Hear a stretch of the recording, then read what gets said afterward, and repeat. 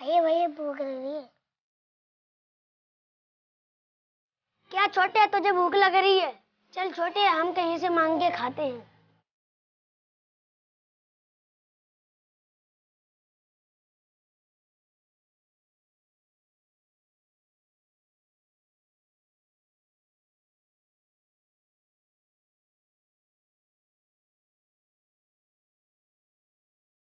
रुक छोटे तू यहीं खड़ा हो। मैं इन भैया से कुछ मांग कर लाता हूँ।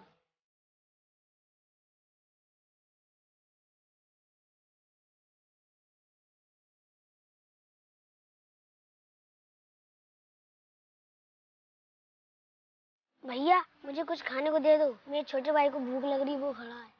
चल भिखारी निकल ले यहाँ से। चला आया सुबह सुबह मूड उठा के। भैया एक दो रुपये दे दो हम कुछ लेकर खा लेंगे। ओए भिखारी नहीं दूँगा एक दो रुपया। पता तू क्या करेगा? निकल ले यहाँ से वरना तुम दोनों को अच्छी भीख मंगवाऊँगा। चला छोटे चलते। भाई भूख भूख के बारे चलो जा रहा हूँ। छोटे बाहर न ले चल आकर पानी पीते हैं। छोटे पानी पीने के बाद तेरी भूख कम हो जाएगी।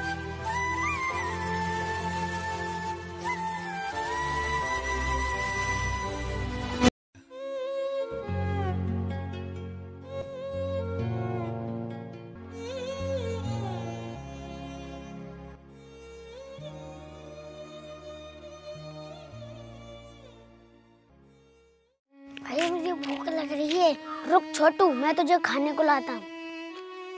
छोटे, तू जहाँ बैठ, मैं ना आऊँ जब तक तू यहीं बैठी रहना। भैया, जल्दी आना। रुक छोटू, मैं अभी आता हूँ।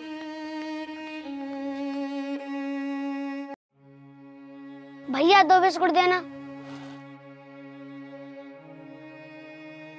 भैया, दो नमकीन और देना। अरे, ये बच्चा कहाँ गया? मुझे लगता है भाग गया थी चल कर देखता हूँ ये बच्चा कहाँ गया। ले छोटे बिस्कुट खा ले।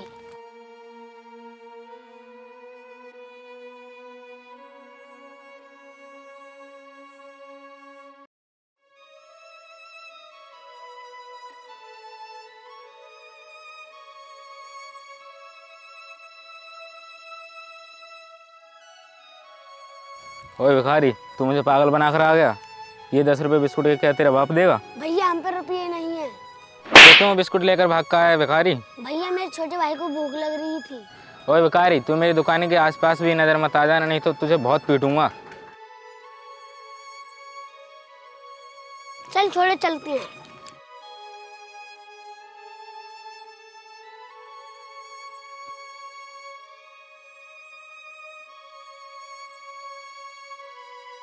अरे ये दोनों भिखारी मेरे घर के दरवाजे पे सो रहे हैं।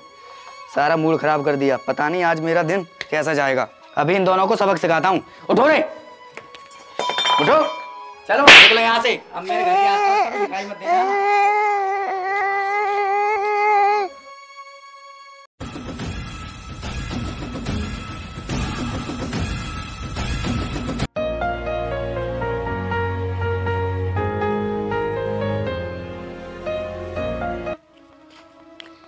हमें कुछ पैसे दे दो खाने के लिए। क्या कहा? बहुत भूख लग रही है। खाना खाओगे? हाँ भैया। फिर चलो पहले तुम हमारे जूते साफ़ करो फिर हम तुम्हें खाना खिलाएँगे।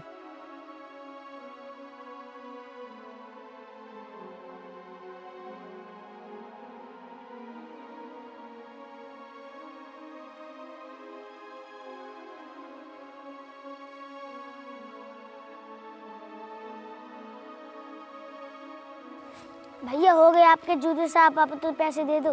हो गए जूते साहब तो अब निकलो यहाँ से। भैया आप तो कह रहे थे जूते साफ़ करने के बाद पैसे दे देंगे। अरे वो भिखारी नहीं देंगे पैसे बता तू क्या करेगा।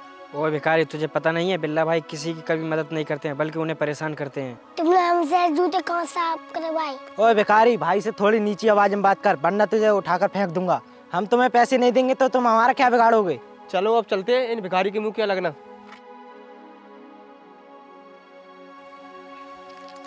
दिन तो देख लूँगा।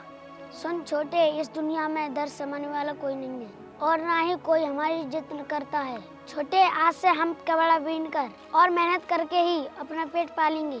ठीक है भैया? तो चल छोटे, हम कबाड़ा बीनते हैं। चल छोटे, इसमें से कबाड़ा बीनते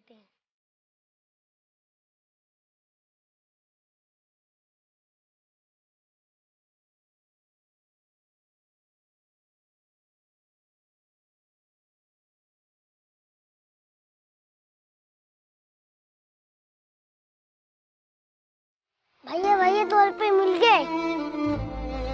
छोटे, तुझे दो रुपए मिल गए। चल, यही बहुत है। और क्या पता इन दो रुपयों से हमारी किस्मत बदल जाए। चल, छोटे, कहीं और कबाड़ा बीनते हैं।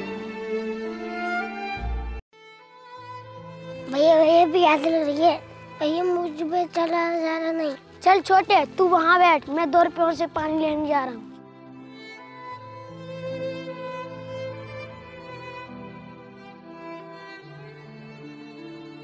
भैया एक पानी का पाउच दे दियो।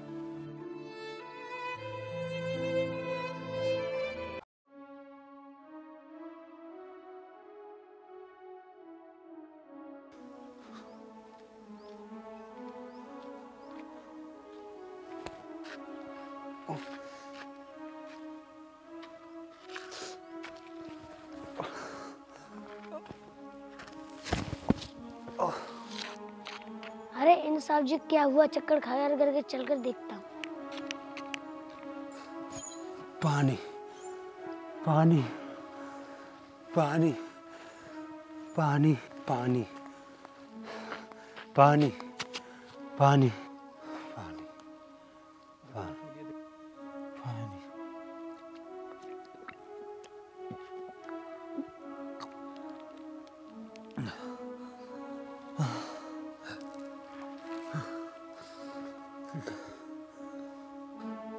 अरे बेटी तुम कौन हो?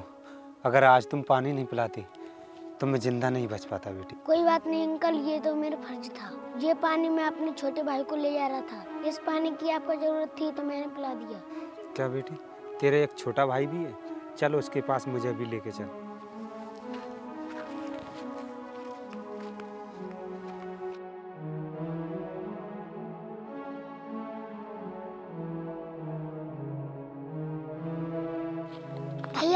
कौन लाई भैया मुझे बहुत तेज प्यास लग रही है।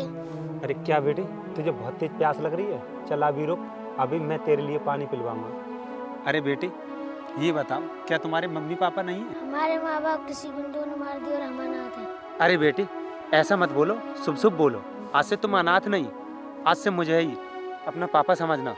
आओ चलो बेटी मेरे साथ। अरे बेटे इन्हें यहीं छोड़ो। अब तुम इन्हें नहीं बीनोगे। मेरे साथ चलो।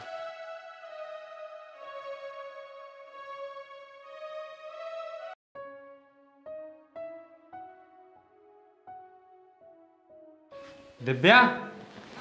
इधर आओ मेरे पास। जी अभी आई। अरे आप ये किसके बच्चे ले आए? सुनो दिव्या ये दोनों भाई अनाथ हैं। इनका इस दुनिया में कोई नहीं है। तो फिर मैं इनको अपने साथ ले आया। दिव्या इन्हें आज से अपनी बेटी समान समझो। हम पे एक भी संतान नहीं थी। भगवान ने हमारी सुन ली। अब एक नहीं दो दो बेटे हैं हमारे पास। भगवान तुम्हारा लाख लाख शुक्र हो। तुमने हमारे घर राम और लक्ष्मण की जोड़ी भेज दी। सुनो दिव्या अब बाद में बात करना। इन बच्चों को भूख बहुत तेज से लग रही है। तुम खाना ला कर दो और इन्हें खाना खिलाओ। ठीक है अभी लाती हूँ।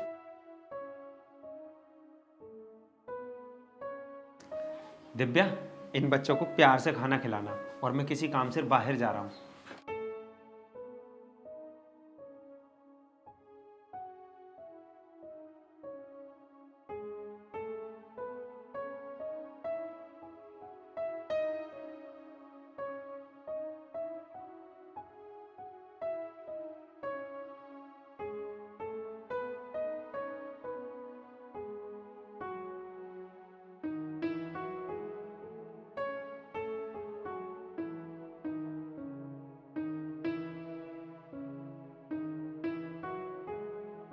बेटे आज से तुम स्कूल जाना। तुम बहुत बड़े आदमी बनोगे। आजा।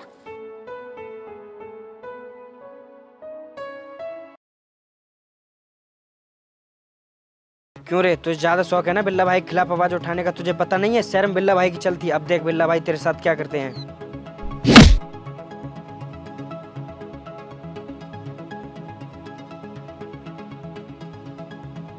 ओ बिल्ला अपनी जगह से हिलना मत। और तुम अपनी गन नीचे फेंक दो। विवेक अंकल के हाथ खोल।